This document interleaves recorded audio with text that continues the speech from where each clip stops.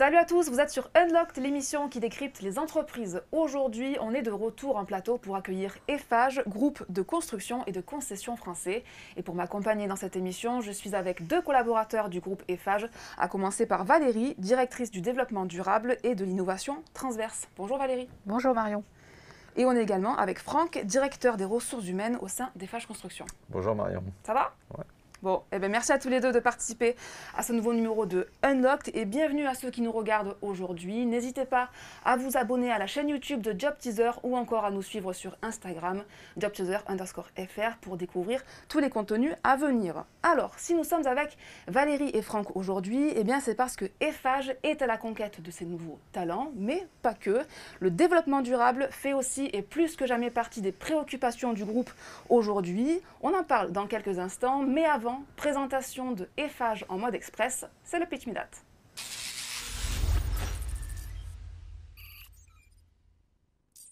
Allez Franck, je vais te donner la parole. Le principe est très simple. Présenter Eiffage en une minute chrono. Ça Une va? minute, c'est court. Euh, Eiffage, alors c'est euh, 72 000 collaborateurs, euh, 8 métiers, avec euh, le bâtiment, l'aménagement, la promotion, le génie civil, la route, euh, les énergies et les concessions. Tu en as parlé tout à l'heure. Euh, les collaborateurs, notre activité est à peu près à 25% à l'international.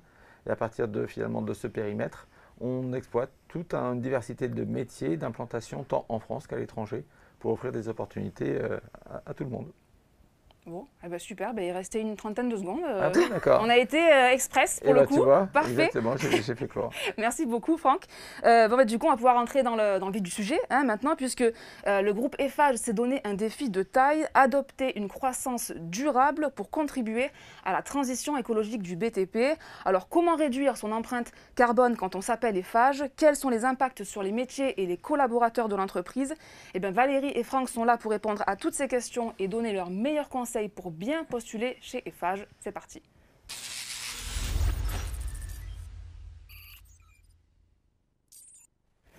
Alors Valérie, Franck, euh, l'émission hein, que nous faisons euh, aujourd'hui ensemble s'adresse aux professionnels de demain, hein, vous le savez, des jeunes qui sont actuellement étudiants ou euh, qui sont tout juste euh, diplômés. Euh, du coup, est-ce que vous pourriez nous dire pourquoi vous, collaborateurs euh, du groupe Eiffage, eh bien, vous avez décidé de venir sur ce plateau pour leur parler de développement durable et euh, de stratégie bas carbone? Oui, moi je peux commencer si vous Oui, voulez. Bon, d'abord, euh, on ne s'est pas levé un matin en disant développement durable. hein. Ça fait quand même euh, plus de 12, euh, 12 ans, presque 14 ans maintenant, euh, qu'on a une stratégie carbone, une stratégie de préservation de la biodiversité et une stratégie en économie circulaire. C'est les trois grands piliers. Maintenant, ce qu'on remarque, si vous voulez, c'est que la situation environnementale s'est dégradée. Et surtout depuis la COP 21, donc depuis 2015, on a remarqué, et c'est tout à fait légitime, que nos, les, les gens qui postulent chez nous, les futurs recrues, sont extrêmement impliqués, se sentent directement concernés euh, par euh, les enjeux planétaires et souhaitent que leur expertise, leur savoir-faire, les études qu'ils ont poursuivies avec succès puissent servir quelque part à réconcilier euh, leurs intérêts professionnels et leurs intérêts personnels, notamment pour les ingénieurs, par exemple, pouvoir chercher des solutions pour réduire l'empreinte carbone du groupe, trouver des solutions de substitution sur certaines pratiques ou process métiers. Et puis, euh, pour les fonctions support, euh, tout le monde est concerné, les acheteurs, euh, les logisticiens, les informaticiens, les juristes. Et donc, chacun peut apporter sa pierre à la transition écologique du groupe. Et ça, je pense qu'ils l'ont bien compris. Et c'est pour moi, en tout cas, un grand plaisir euh, de, constater que le développement durable et la RSE, qui à une époque était considéré un petit peu comme euh, euh, un accessite, hein, c'était un petit peu, j'avais tendance, je vous disais tout à l'heure, Marion, en préparant l'émission, on a vécu les périodes ridicules, rejet évident, c'est-à-dire à une époque, on était ridicule, les gens disaient, oh, ok, d'accord, bon, dès qu'elle a fini son discours, on revient aux choses sérieuses, on va parler argent. Après, on a suscité un peu le rejet parce que les gens considéraient qu'on les empêchait de faire des affaires. Et puis maintenant, c'est une évidence parce qu'il n'y a que la croissance soutenable euh, qui peut nous permettre de pérenniser les activités de l'entreprise dans la situation actuelle. Euh, et en fait, dans le BTP, on a émis, on émet des gaz à effet de serre, mais on a beaucoup de solutions pour être des contributeurs nets à la ville durable et à la résilience des infrastructures. Et ça, c'est vraiment très important de le dire aujourd'hui avec vous, Marion. Euh, les gens, les jeunes qui aujourd'hui veulent contribuer à euh, construire euh, la résilience des villes et des infrastructures dans une société apaisée et solidaire, eh bien, c'est en tout cas le projet qui est porté au plus haut niveau chez nous, chez FH depuis plusieurs années, c'est vrai qu'il euh, y a de plus en plus d'entreprises hein, qui communiquent sur euh, leur engagement en matière de, développement durable, avec parfois hein, l'impression qu'il s'agit plutôt de redorer leur image ou d'obéir à certaines obligations euh, légales, plutôt que d'avoir une vraie stratégie authentique RSE. Or, du coup, qu'en est-il du groupe EFAGE et quelle est concrètement votre stratégie en matière de développement durable? Alors la stratégie, je vous l'ai dit euh, tout à l'heure, hein, il y a trois piliers, euh, réduction de l'empreinte carbone, économie circulaire, euh, préservation de la biodiversité, parce que nos métiers sont physiques. Ils ont une interaction avec le territoire. Et donc, on ne peut pas se permettre d'y laisser des, traces, des cicatrices. bien au contraire, on est des... Souvent, j'ai tendance à dire, on doit passer de l'aménagement du territoire au ménagement du territoire. Et ça, on est capable de le faire. Et je vous assure qu'aujourd'hui, les savoir-faire existent déjà. Ce qu'on veut, c'est que les activités qui sont climato-compatibles représentent de plus en plus un chiffre d'affaires conséquent pour décarboner d'ici 2030 le chiffre d'affaires euh, du groupe EFH. Vous avez dit un mot, Marion, vous avez parlé de communication. Alors là, j'ai tendance un petit peu à, vous alerter quoi, sur le terme communication parce que ceux qui communiquent le plus ne sont pas ceux qui en font le plus. Euh, si vous pouvez me permettre cette petite blague, euh, j'avais un patron qui disait Nous, chez EFH, on ne fait pas 3 mètres cubes de neige avec un œuf. donc moi, je conseillerais aux étudiants et aux jeunes diplômés qui nous regardent d'aller vérifier les communications qui sont réglementaires, notamment la déclaration de performance extra-financière, ce qu'on appelle la DPEF, qui est publiée chaque année dans le rapport annuel du groupe.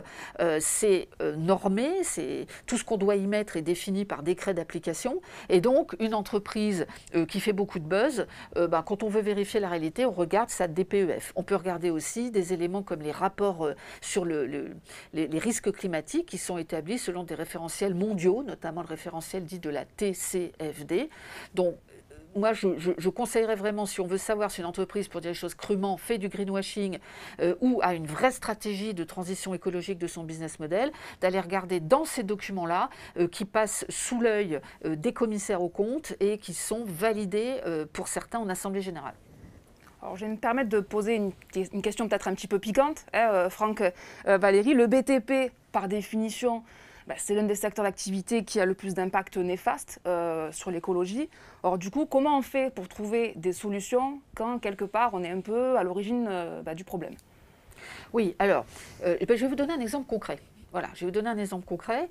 vous voyez, par exemple, dans le groupe EFAGE, on a beaucoup de carrières. On a une centaine de carrières, dont des carrières de calcaire avec lesquelles on fait de la chaux. Ben, la chaux, c'est un produit qui existe depuis 6000 ans, mais qui est totalement indispensable aujourd'hui. On n'a pas de substitut à la chaux, sauf que pour fabriquer la chaux, il faut cuire le calcaire et vous provoquer une réaction chimique qui émet des gaz à effet de serre. Et, d'ailleurs, nos usines de chaux sont soumises au quota européen d'émissions. Ben, ce qu'on peut faire, c'est les vendre. Et puis du jour au lendemain, je pourrais vous dire, ah ben, j'ai réduit de 20% mes émissions de gaz à effet de serre parce que j'ai vendu euh, les usines de chaux. Est-ce que c'est pertinent? Parce que la chaux, elle va venir d'ailleurs. Les premiers producteurs de chaux au monde, euh, c'est la Russie et c'est la Chine. Euh, là-bas, euh, je crains que ça soit fabriqué selon peut-être, il me semble, une absence totale de normes sociales et environnementales. Mais si nous, on considère que c'est notre devoir d'aller capter le carbone en sortie de four à chaud et avec ce carbone d'en faire quelque chose, notamment booster la photosynthèse des maraîchers qui, ont des productions euh, euh, locales sous serre, ou bien de réinjecter ce carbone dans des bétons déconstruits pour leur restituer des qualités physiques et augmenter leur recyclabilité, ben, ça a beaucoup de sens. J'ai préservé un emploi sur le territoire, je sors une chaux qui est bas carbone, et en plus de ça, j'ai évité ce que les économistes appellent les fuites de carbone à l'étranger. Parce que si je ne le fais pas alors que la chaux est indispensable, il faudra bien qu'elle vienne de quelque part et elle viendra de l'étranger. Et là, elle va beaucoup émettre parce qu'il n'y a pas de réglementation. Donc vous voyez ce que je veux dire? Euh, on, a bien évidemment une totale... Euh, on passe en revue complètement tous nos process. Et vous vous doutez bien que ce qui était le plus simple, notamment la substitution des énergies euh, fossiles par des énergies renouvelables, on l'a déjà fait. On est en train aussi de beaucoup travailler sur l'économie l'économie circulaire, je vous donnais l'exemple des bétons déconstruits. Il faut savoir que le premier matériau au monde le plus exploité après l'eau, c'est le sable. Et donc, nous, ce qu'on souhaite, c'est que les millions de mètres cubes de béton qui sont mis en, œuvre et que nous allons déconstruire quand il faut rénover des bâtiments, rénover des villes, puissent devenir des matières premières. Ça, c'est par exemple une piste très attractive pour réduire la pression sur euh, euh, les ressources naturelles et limiter les émissions de gaz à effet de serre, puisque ce béton, on réinjecte du carbone dedans. Euh, le troisième euh, élément, et ça me semble très important, c'est que le BTP est directement contributeur à la résilience des infrastructures et des villes, c'est-à-dire à, l'adaptation euh, de nos infrastructures aux conséquences avérées du dérèglement climatique. Les renforcements de digues, euh, les mises hors d'eau d'un certain nombre d'équipements, mais également la restauration de milieux qui ont été pollués, la renaturation de zones qui ont été défrichées, ce qu'on appelle le génie écologique, qui devient vraiment euh, un métier euh, d'avenir avec une progression à deux chiffres hein, du chiffre d'affaires annuel du génie écologique. Tous ces sujets-là euh, font partie de, je dirais, de l'écosystème des métiers du BTP. Alors le groupe EFA est composé de plus de 70 000 collaborateurs, hein, je l'ai dit mmh, Franck tout à l'heure. Ça. Ah, ça. fait donc beaucoup de monde hein, à sensibiliser sur, bah, sur, vos actions pour la planète. Est-ce qu'il y a des métiers qui sont plus concernés que d'autres par, par ces sujets-là? Et plus globalement, comment sont formés euh, vos collaborateurs euh, à cette transition écologique vous avez des éclaireurs en fait par rapport à ça, euh, et notamment les éclaireurs et les éclaireuses. Ce sont les équipes de Valérie justement qui, en termes d'innovation transverse, en termes de partage d'expérience, finalement ont un peu une longueur d'avance avec pas mal d'expérimentations aussi finalement qui sont lancées. Et après, finalement, c'est à chaque métier avec des objectifs qui sont fixés par le groupe dont a parlé tout à l'heure Valérie, qui justement doit mettre en œuvre finalement à l'intérieur de toute sa filière, que ce soit du commerce à la production et à la maintenance aussi des équipements, finalement la prise en compte de ces impératifs et de ces exigences en matière de euh, plan climat, euh, plan carbone par rapport à ça. Donc en fait, il y a toute une sensibilisation aujourd'hui des équipes, majoritairement fait par les équipes de, Valérie justement, sur en termes de mobilisation, de sensibilisation, information, formation, et puis après ça va se décliner euh, à travers d'expérimentations. Puis une fois que ces expérimentations euh, finalement sont validées, peuvent être déclinées, pérennisées, euh, validées, généralisées finalement à l'ensemble. Ça va, Valérie a parlé des carrières, il y a la route aussi de la même manière, où il y a des vrais process, il y a des vraies choses qu'on peut mettre en valeur. On, on, parle de recarbonatation des bétons, et là il y a des expériences sur des chantiers de bâtiments. En matière d'énergie, il y a des nouveaux systèmes aussi de régulation, ou, ou, générer des énergies renouvelables comme le photovoltaïque chaque métier finalement a ses spécificités et un collaborateur finalement, quelle que soit sa voie, quelle que soit sa filière, trouvera en tout cas l'opportunité de mettre en pratique, de réfléchir, d'innover et de, vivre au quotidien, euh, je crois, euh, ces adaptations. Eh ben, merci beaucoup Valérie Franck pour, euh, euh, avoir répondu à toutes ces questions. J'en ai pas fini euh, avec vous, puisqu'on l'a dit en début d'émission, vous êtes également à la recherche de vos futurs jeunes talents. Alors comment on fait pour bien postuler chez FH ben, C'est l'heure de délivrer vos meilleurs conseils dans les tips to be on top.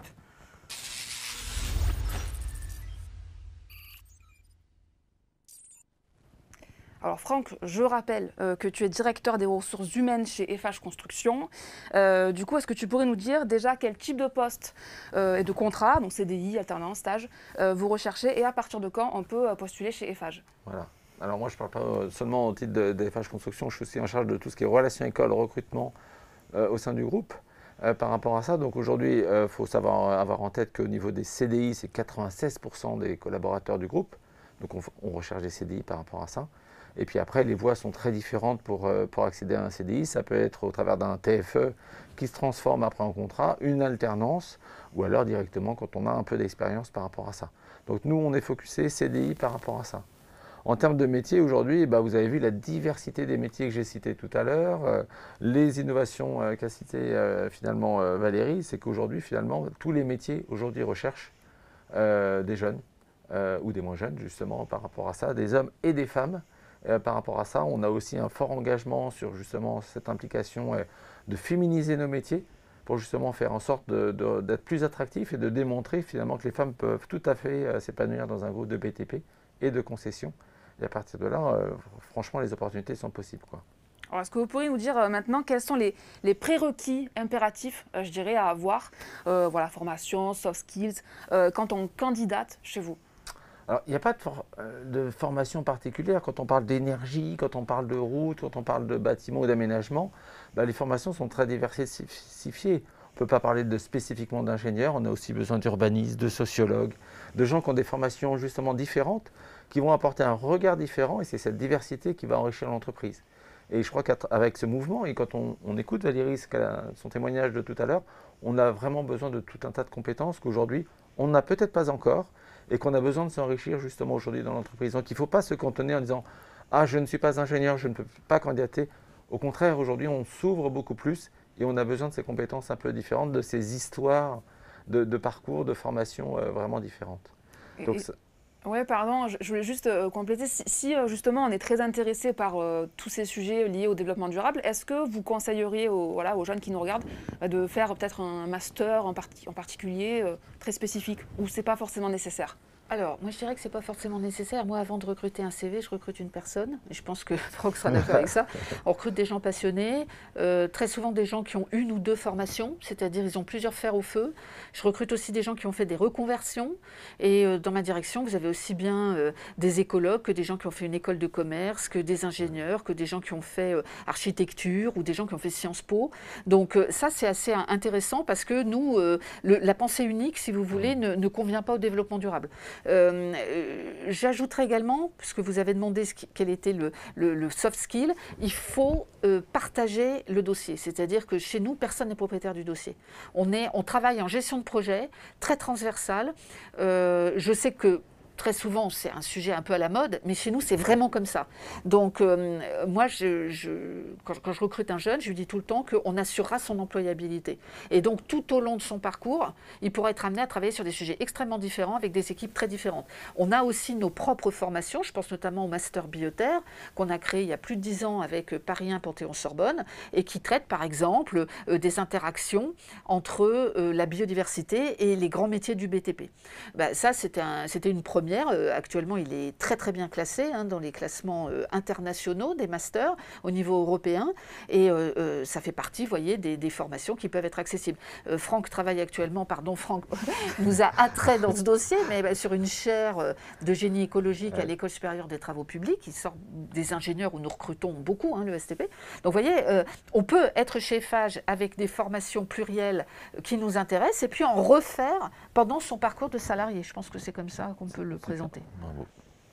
alors j'ai une stat euh, qui, est assez, euh, qui est assez étonnante à, vous donner. Deux tiers des 18-25 ans ont l'impression de devoir changer de personnalité en entretien pour faire bonne impression. Alors déjà, vous en pensez quoi euh, de cette statistique? Je ne la connaissais pas, j'ai été plutôt étonné finalement de la voir. Il ne bah, faut surtout pas changer. Non, non, non, il faut venir comme vous êtes. être curieux, poser des questions. Je suis un peu étonné parce que finalement, ce n'est pas nécessaire. Autant il faut forcément préparer son entretien, euh, connaître son CV, son parcours, exprimer ses motivations. Euh, mais non, il ne faut pas changer. Il faut, vraiment euh, être là naturel et, poser un maximum de questions. Autant et on peut avoir un discours un peu polissé, je trouve, hein, avec les RH. Par contre, quand on est au contact d'opérationnels, tel Valérie, tel des, gens qui sont en production, quel que soit le métier, à partir de là, il faut être curieux, poser mille questions, parce que cet entretien est tellement important par rapport à sa carrière c'est vraiment celui-ci qui va permettre à, un jeune de décider et puis de s'engager par rapport à l'entreprise. Bon, eh bien merci à tous les deux euh, pour tous ces conseils précieux qui, j'espère, eh aideront les jeunes qui nous regardent à préparer euh, leur candidature. D'ailleurs, si euh, vous qui nous regardez, eh vous souhaitez découvrir les offres d'emploi disponibles chez Eiffage et tenter votre chance, eh rendez-vous sur le site jobs.eiffage.com. Allez, Valérie Franck, il va nous rester quelques instants ensemble pour donner votre mot de la fin. C'est l'heure du last but not least.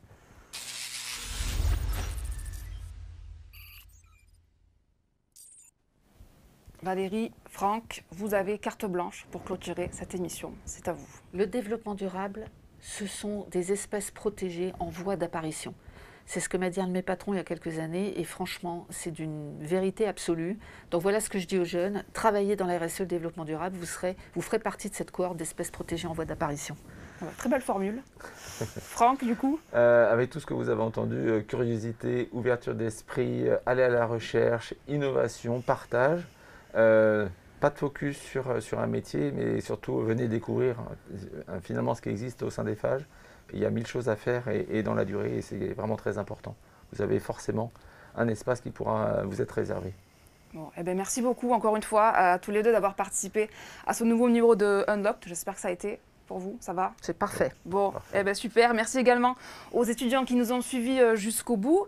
Euh, N'hésitez pas à nous envoyer vos réactions, que ce soit sur euh, la chaîne YouTube de Job Teaser ou encore sur euh, Instagram, jobteaser underscore fr. Je vous souhaite une très bonne fin de journée et à très vite pour de nouvelles émissions Unlocked. Ciao, ciao